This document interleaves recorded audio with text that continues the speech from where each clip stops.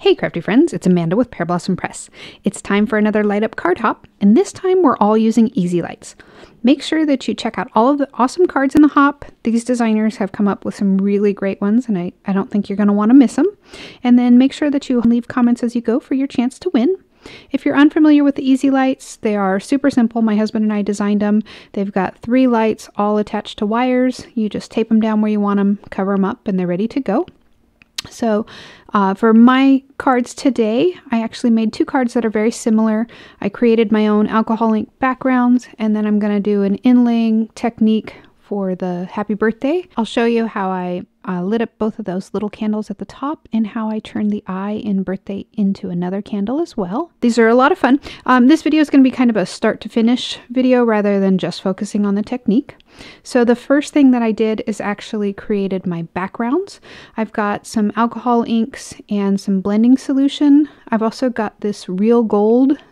It's an additive. Uh, this one's pretty strong, so I, I, use it sparingly. In fact, I didn't even use it at all in the blue sample. Um, and I'll show you in just a second. Um, I did use this silicone paintbrush and a drinking straw. I've got some alcohol ink paper, and then I've got some regular uh, isopropyl alcohol in a spray bottle. You do not want to spray the alcohol blending solution. That has resins in it and stuff, so it's not good to breathe. But you can uh, put regular alcohol into a spray bottle. So what I did was I'm, I'm just working on a craft mat here. I sprayed down my paper with some of that rubbing alcohol. I put just a couple drops of ink to start and then I'll blow it around with the uh, drinking straw. You can use a heat gun too if you have one that has high air pressure, but it dries it out pretty quick. Uh, so I like the, the drinking straw method for this. And actually you can do that with watercolors too. It, it's a lot of fun. So I'm just going to come in with uh, two to three colors for each one. The, the inks will mix as you go. So try to pick colors that will work together. I'm not adding um, any of the blues or greens into this because it would just turn to mud. So I'm just using colors that are right next to each other. And then for this one, I did want to introduce a little bit of that gold. So what I'm doing is just putting it onto the side. I'm getting my paper wet again with the alcohol. And then I'm going to grab just a little dot of it and kind of float it onto that wet alcohol there. The gold is pretty strong. If I were to just put a drop directly onto the page, you'd get a big blob and it kind of looks brown and ugly by itself. So just a little bit in there goes a long ways. And I'm, I'm going to just kind of move it around and continue to play with this until I get something that I like. And once it's pretty much done, you let it just kind of sit and dry. With alcohol ink paper, it's kind of a plastic coated, so the back might stay wet a little bit longer, so just be aware of that. And then to clean up the mat, I just sprayed a little more alcohol on the pad, or I'm sorry, onto the uh, craft mat, and cleaned it up with a paper towel. Now, if you get any on your hands, which you probably will, um, you can use hand sanitizer if you have some handy, um, or just that blending solution again. If you spray the, the alcohol on your skin, it tends to dry it out a little bit more than the blending solution. And it doesn't work 100%, but it works pretty well. Um, I just went ahead and repeated the process with my blues, green, and yellow there and got a, a second background there. And it's just the same process. Just keep moving around, playing until you get something that you like. Now, when you make alcohol ink backgrounds, sometimes you get these sticky spots, um, especially when you're using alcohol ink paper. It's, it's plastic, so the ink doesn't soak in. Um, if you want, you can just come back with a powder tool or a scrap piece of foil and just touch down on those sticky spots and transfer some of the uh, foil that way. Um, I also saw a really cool video where um, the person used embossing powder, like gold embossing powder. I'll link to that down below too. It's, it's pretty cool. So let's go ahead and get started with the cards. I've got two card bases there. I've got an oval that I cut out of my uh, shiny gold cardstock there. I've got a blue um, cardstock circle there. That's the glitter paper there. Um, I'm just using nesting dies for those. And then I've got this, uh, I think it's called the large scripty happy birthday from My Favorite Things. And I'm just going to go ahead and cut it out from my uh, glitter cardstock And then I use the smallest die in the More Strips of Ease set. And I cut it out. I'm going to make some candles. So I just cut those down to, cut one down into four long pieces. I've also gone ahead and colored and cut out six of these little raindrops. I'm going to use three for each card.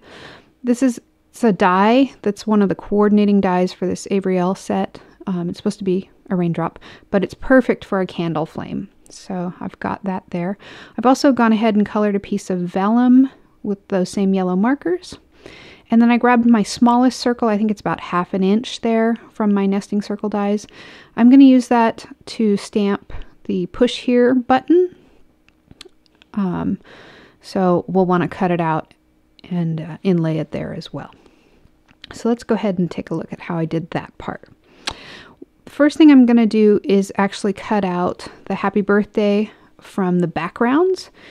I'm going to cut it from the center because we're going to end up using the background for the like the back layer, the background layer, but it'll be covered up by the oval there. So, um, or the circle. So I went ahead and cut it out from the center I don't have to keep the little pieces for that part because we're just going to cover it up. You're never going to see it again. Um, we're also going to cut it out of the glitter cardstock pieces. And we also need to cut out a circle. So cut it out both from the uh, cardstock, the glitter cardstock, and the alcohol ink background piece. First, I'll cut it out of the uh, the alcohol ink background. And off camera, I'm doing the blue and green at kind of at the same time, just to to keep them both going and moving at the same time. So you see I've got that little circle. I'm going to set it aside. We'll stamp on it in a minute. And I've gone ahead and cut out the gold glitter cardstock. This time I do want to keep all of those little pieces because we're going to inlay those inside the words. And for me, I, I find that it's easiest to kind of keep all of those and inlay them as I go rather than having to, if you poke them all out, then it's kind of a puzzle piece. Which one goes into which little piece, you know, because they're all sort of ovals. Um, so I just kind of inlaid the words or the little pieces inside the letters, and then I kind of stuck the letters inside the oval here. And I'm going to flip it over and tape it all down in just a second here. If you just use regular scotch tape for the back, um, it, it holds it all together and it glues to your background just fine. And you can lay down extra tape um, over the parts that you haven't inlaid yet either too, and it just catches it all. So whichever way works best for you. Um, now before I get the APPY glued in or stuck in place, I do want to um, get my candles done. Um, so I'm going to just take two of those little strips and kind of figure out where they're going to sit, how long I want them to be. I will obviously trim them down some more. And then I kind of marked them, but then I realized I need to add my stripes first before I start before I cut them down because it's easier to work with when they're longer. You can hold the bottoms to draw the little lines on. So I grabbed Copic markers. This one is the same uh, sort of pink that's in the background. So I use that just so it'll stand out a little bit more, but still match. And I just added a couple little stripes. For the eye in birthday, I'm just going to go ahead and use my colorless blender to remove the color from that paper. Remember, this is alcohol ink paper, so it's coated and the ink is really just sitting on top. So using a colorless blender removes it perfectly. It goes back to bright white. And then I can come in and add some more pink stripes to that, and it looks like a candle now. Okay, so with my stripes on the two uh, longer candles there, I'm just going to go ahead and tuck them in and figure out how long I want them so that I can trim them down. And I will leave them a little bit long enough to actually inlay underneath the P there. And you know, just kind of mess with it. Remember, you want to leave room for the flames at the top. Um, in this case, they're actually going to be sticking off the top of the oval a little bit. When I do the circle, they fit completely within the circle. So it's up to you. You can inlay them um, so that they stick out above the oval a little bit if you want or not. That's up to you. So after I've got them in place, I'll go ahead and put the rest of the little gold pieces inside. I believe they're called tittles. um, and then there was one for that, the R there. So now I've got it completely inlaid and I'll grab that little tiny teardrop or raindrop shape there. And now I'm going to cut a new space above the eye. So I wanted to get it fully inlaid first so that I could cut it out because I did cut out part of the orange and part of the gold there. And you can see I'll be able to inlay one of the little yellow pieces. And now I'm going to do the same thing above the two little candles that we pieced above. And I'll run them through. And again, they're kind of cut off the top, which is totally fine for this. There's enough room that I can still add tape to the back of the oval and catch the, the two pieces that are sticking off. So as long as you leave enough room to be able to inlay it and, and catch it, it'll be fine. Now I can go ahead and add some tape to the back of this so that I can catch both of those or all three of those little flames there. And before I stick the top two flames down at the top, um, I'm going to trim away the extra tape. It's easier than trying to trim around the um, the shape of that uh, flame there. But there's still plenty of tape to actually hold it in place, so I don't have to, to worry too much about that. And now we've got our inlaid piece, and it will cover up the background perfectly. Uh, we need the little button for the push here, so we're going to cut that out of the gold piece as well and then I'll be able to inlay that from the orange as well after I get that stamped. So let's go ahead and stamp that now.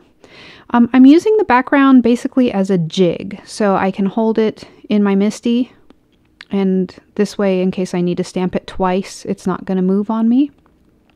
I've got this little push here stamp, that's from the Interactively Yours set from Heffy Doodle. I've got that in my shop. Um, and you can just go ahead and stamp it. Because I'm working with the alcohol ink paper, I used Memento ink. This gives me a crisp, um, nice sharp image, but it's not a really juicy pad, so it's not going to spread out because those words are pretty tiny. I wanted it to be just subtle. I want it there, but not really strong. So after I've got the word stamped, you can see how that'll inlay, and again, I'll just tape it in place. Um, because there are words on it, I'm going to tape it in place from the front and make sure that I get it lined up just right. And now we've got our oval all finished.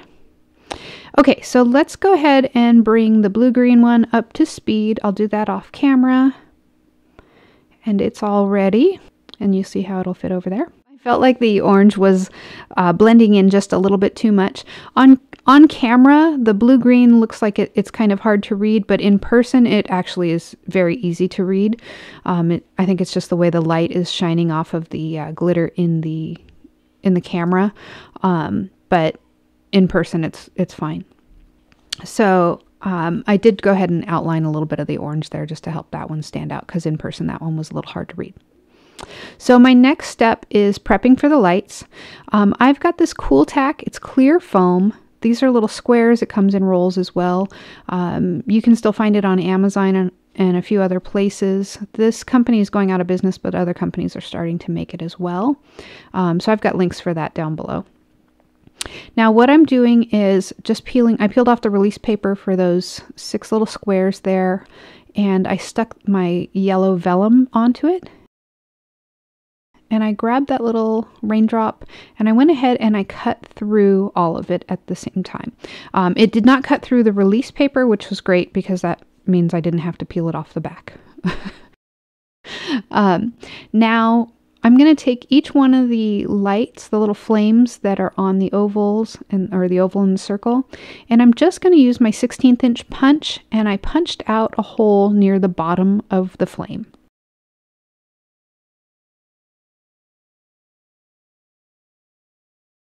And I did that to both panels there. And then now we'll bring in our lights. These are EZ-Lights. Again, if you haven't seen them, they're very simple. Uh, you just snap them apart. They have the batteries separate, so you slide the battery in, press the little purple button, and you're good to go. So there are three lights on each one. They are on wires so that you can kind of spread them out wherever you want them. Just tape them down where you want them to go and tape the battery down where you want it. It's all ready. So at the end of each wire, you'll see a yellow dot. If you flip it over, you can see the back side of the wires. They're little blue and red, tiny little wires. You want to put the lights um, so that that yellow dot is facing in the direction that you want the light to shine. So in this case, I want the, the light to shine through those dots or through those holes that we punched. So I'm just lining it up, putting the little yellow dot right up to that hole and it'll just fit right in there. I just used some regular masking tape, the same tape that I inlaid everything on the background there with. And I just kind of trim it down and stick the lights where I want them. And again, spin the wires so that the yellow dot is facing in the direction that you want the light to shine. And I had a little extra tape sticking up there, so I'll just peel it back and get it out of the way. These lights do not get hot. You don't have to worry about that. And then now you can see the light shining there. But the light is not diffused. It's all the way up at the top. So even though it's a, a little hard to tell uh, from the camera here, in order to diffuse that light, I'm taking those little clear foam uh, vellum covered pieces that we cut out and I'm putting it on top. That way, it's going to spread the light out throughout the whole flame, not just have one hot little dot in the center. You don't have to do it, but it's an extra little touch that really is awesome. And again, the button for the EZ-Lights is actually the little purple dot at the bottom. Sometimes people want to push on the battery. um, they think that's the button. It's not the button. The button is the little purple dot. So um, that's where you're going to want to line up with the push here stamp. So to assemble the card, all I did is just uh, take some of that PVA glue there and I glued my background to my card base. I like bold colors, um, so I chose like a hot orange and a, a nice turquoise for my backgrounds there. And then all of the extra wire there, you see that it, it's kind of got a little more wire. Each one is about seven inches long. I'm just going to curl it up. You don't want to fold it really, if you fold it too sharp of a, a fold there, you could break the wires inside. So be careful with that. Just fold them up, tape them down. And then for the back of the battery, I just put some strong tape. It's a super tape on the back there.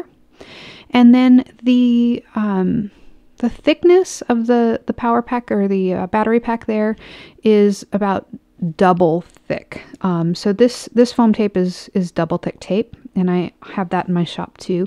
So I just put some all around it, and then I actually kind of grabbed the uh, the battery pack there with that foam a little bit too, just to hold it all down, flip it onto my card base, and we're done. So I'll do the same thing with my blue-green one here, and then we can add a few more finishing touches. So I laid out some sequins. I'm going to use my Nuvo Deluxe adhesive. This is my new favorite glue for sequins. Works really well. Um, and then I've got some diamond glaze, and that's in a really uh, fine gauge fine line bottle and I'm adding that on top of each sequin and then I'm also adding it on top of each light. I just thought it would be pretty add some shine to that vellum. And if you have any bubbles in your diamond glaze, when you use that fine line bottle, the, the top has a, a really fine little uh, needle in there so you can pop bubbles with that. So do remember that this video is part of a light up card hop. Make sure that you hop along with us. There are some really cool cards this time in the hop. Um, again, the EZ-Lights are simple. I've got links for those down below. So um, check those out. Um, I've also got links to the next stop in the hop and the full lineup um, on my blog. And let's take another look at the finished cards here so you can see them in action. I like the way the uh, diamond glaze adds extra shine to an already shiny card there. And I think these are really fun birthday cards. It's a nice special treat. If you're a fan of interactive cards, we do have a Facebook group called Interactive Cards and Paper Crafts. I encourage you to come and join us. Uh, we post lots of different cards, not just light up cards, but all sorts of interactive cards. So check that out. If you like today's video, please give me a thumbs up. Don't be afraid to hit subscribe and click that bell. I've got a few more videos here after you hop along. Come back, check them out. And as always, my friend, thanks for watching.